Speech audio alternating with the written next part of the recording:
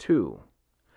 I want now to tell you, gentlemen, whether you care to hear it or not, why I could not even become an insect.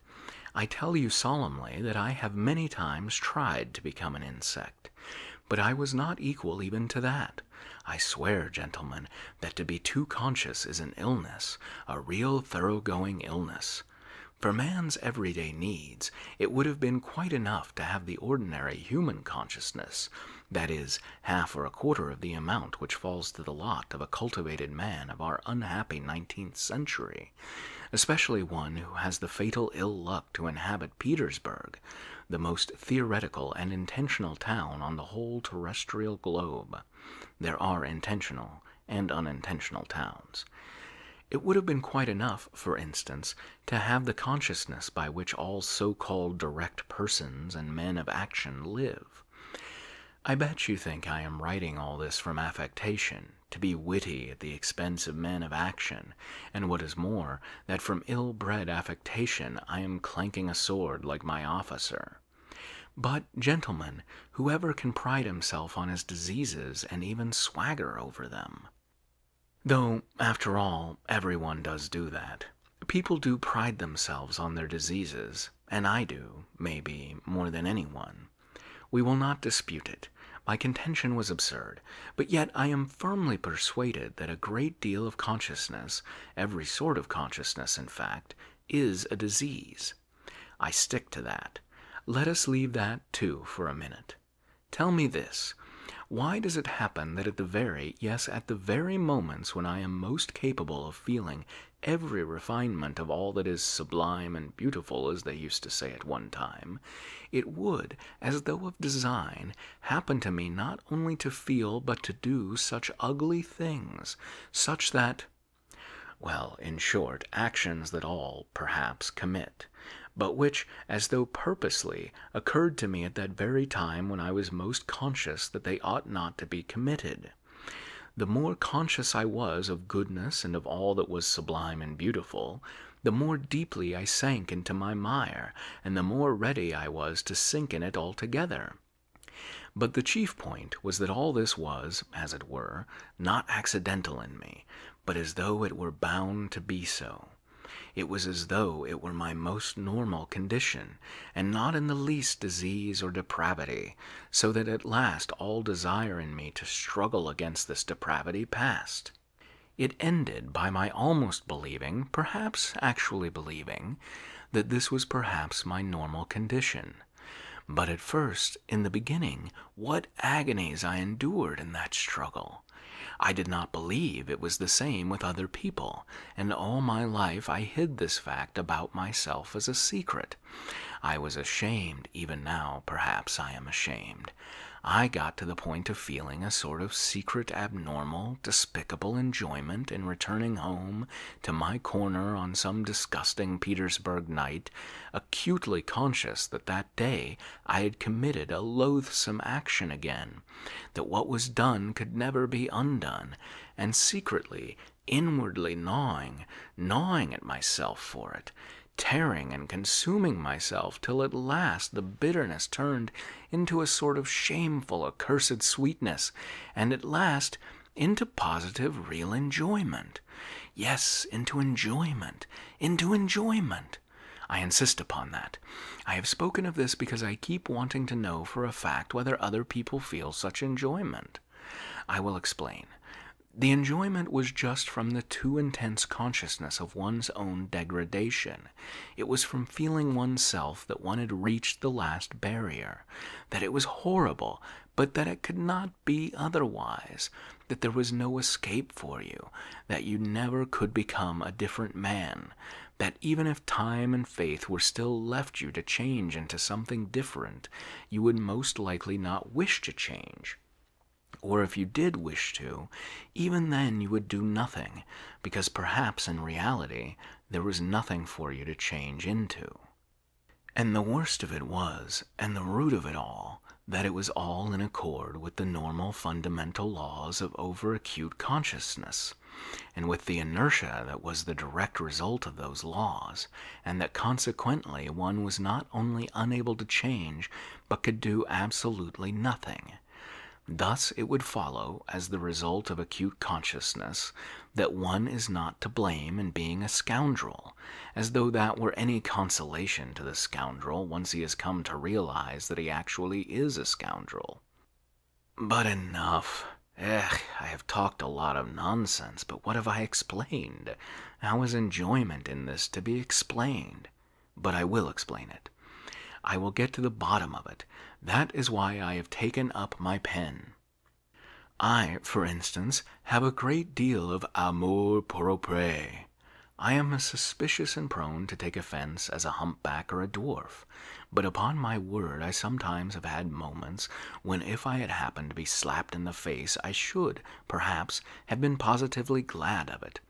I say in earnest that I should probably have been able to discover even in that a peculiar sort of enjoyment the enjoyment of despair. But in despair there are the most intense enjoyments, especially when one is very acutely conscious of the hopelessness of one's position. And when one is slapped in the face, why then the consciousness of being rubbed into a pulp would positively overwhelm one.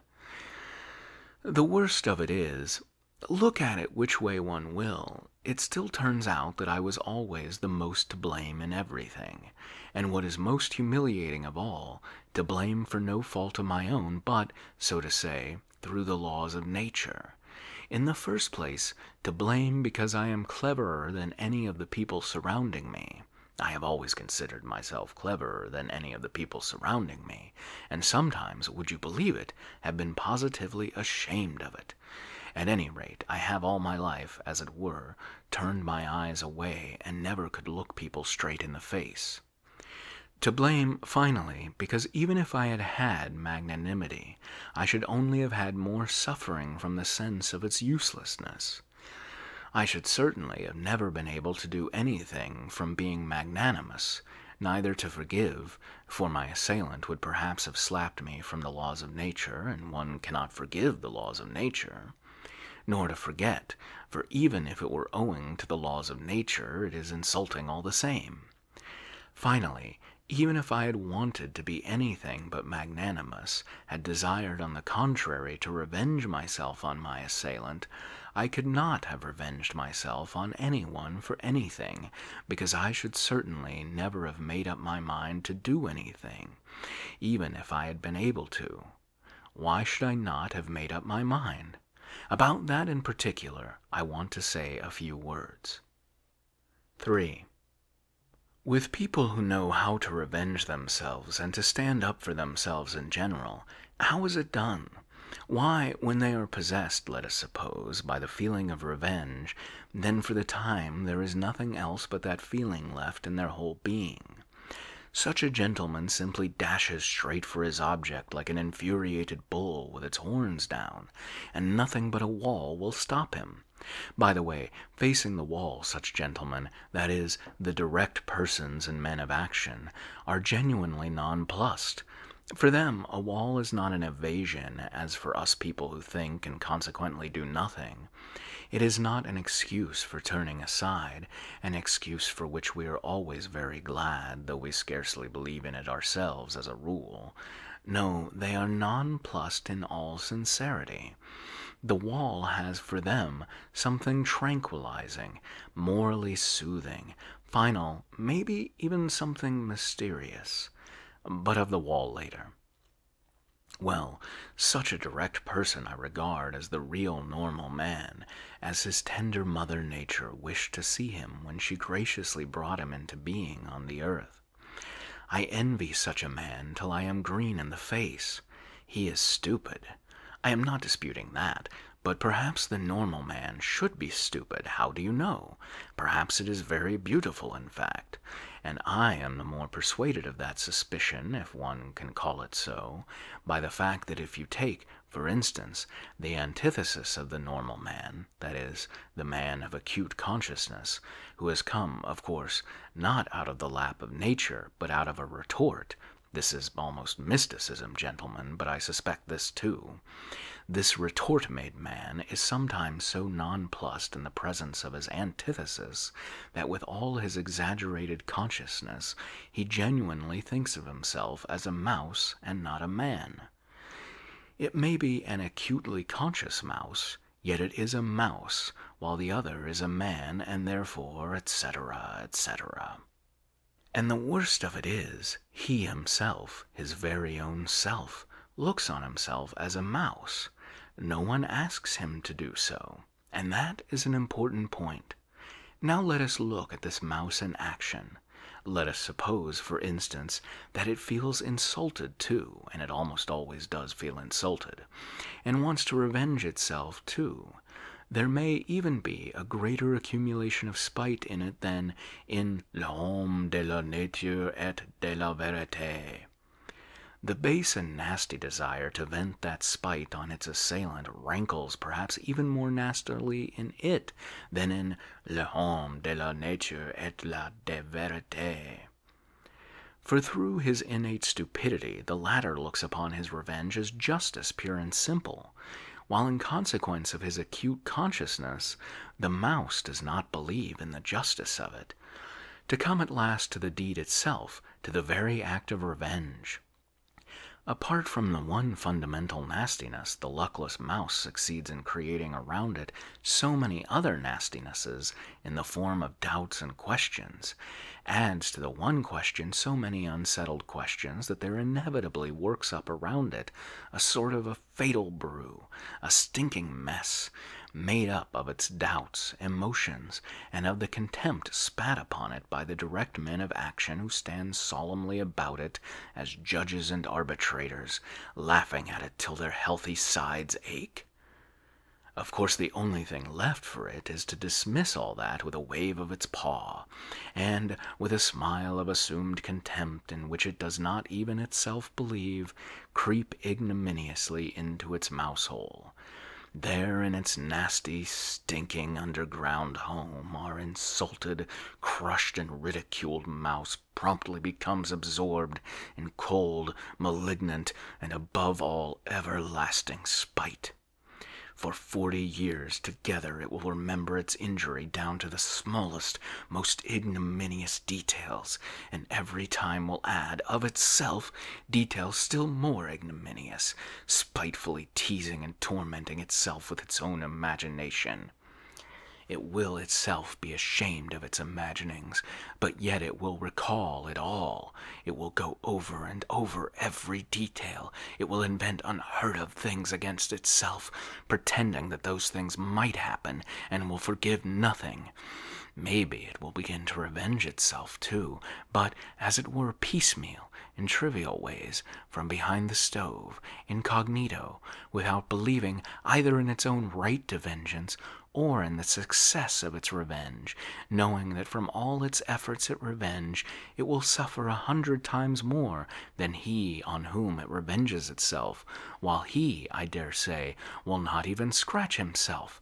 On its deathbed it will recall it all over again, with interest accumulated over all the years, and but it is just in that cold, abominable half despair, half belief, in that conscious burying oneself alive for grief in the underworld for forty years, in that acutely recognized and yet partly doubtful hopelessness of one's position, in that hell of unsatisfied desires turned inward, in that fever of oscillations, of resolutions determined forever and repented of again a minute later, that the savor of that strange enjoyment of which I have spoken lies.